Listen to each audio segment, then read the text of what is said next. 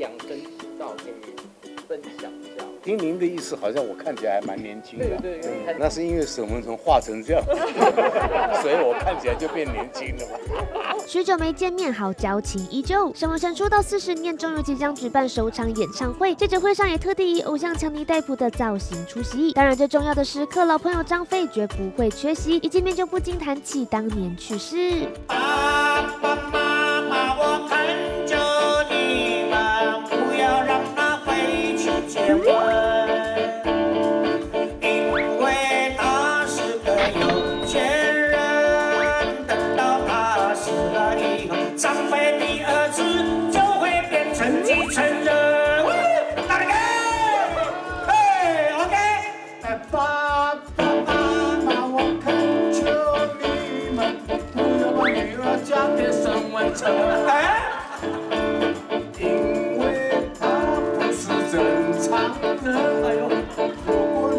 嫁给他以后，你发现他根本就是个稻草人。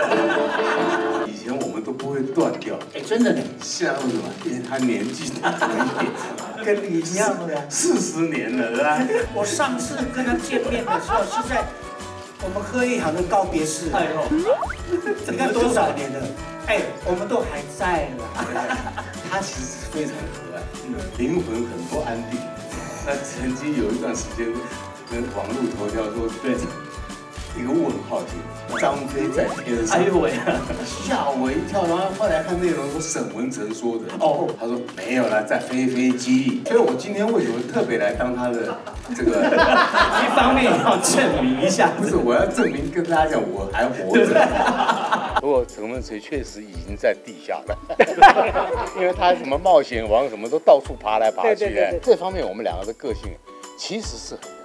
对，他也喜欢起重机，我也是啊。他喜欢钓鱼，我也是。唯一就是说，我不没有在天上飞了，我就在 地地地上走。怎么样？考虑要付出吗？当然，of course，三九欢乐，我一定第第一个去上节目的。哦哦哦！哎哎，爬着去求你，让我上。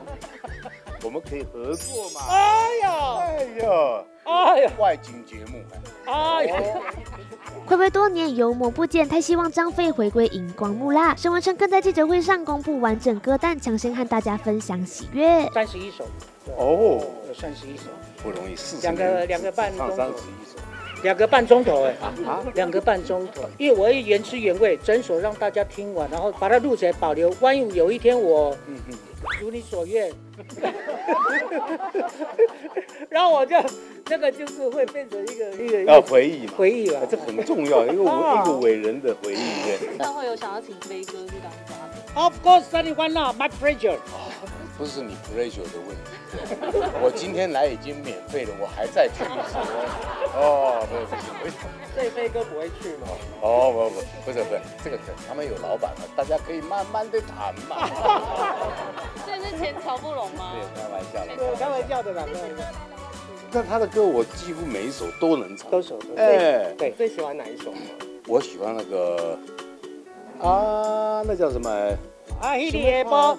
不是不是啊啊啊！哦，那个旧情也绵绵。